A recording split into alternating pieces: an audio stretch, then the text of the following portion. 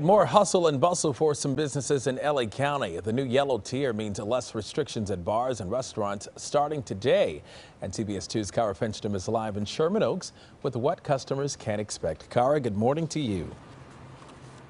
Good morning, DeMarco. The cook is already in the kitchen here. We've seen him moving around inside. That's because Mel's drive-through diner going to be opening up their capacity inside today.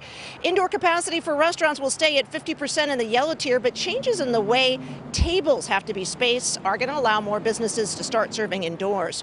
Bars that do not serve meals, they'll be able to reopen at 25% capacity. All right, take a look. Mel's posted on social media welcoming their diners back indoors and saying that there will also be some new patio areas for those who feel more comfortable there.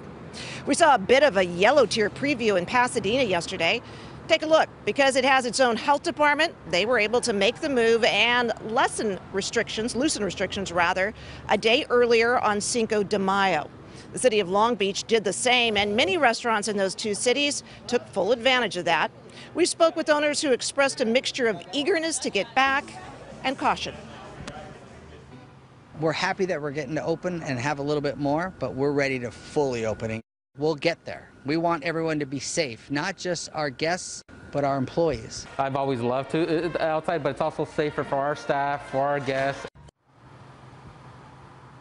And at Maestro's there, three-fourths of the staff is vaccinated. They want everyone to get a shot before they move their tables indoors.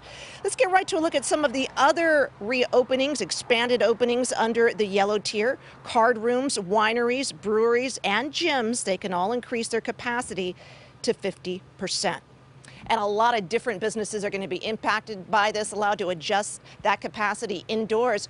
One thing of note, uh, DeMarco Suzanne is Dodger Stadium. For baseball fans, they're going to be able to increase their capacity from 33% to 67%. So you know that's going to be some more tickets being available. Oh, yeah, that's good to hear there. All right, Kara, thank you very much. We appreciate it.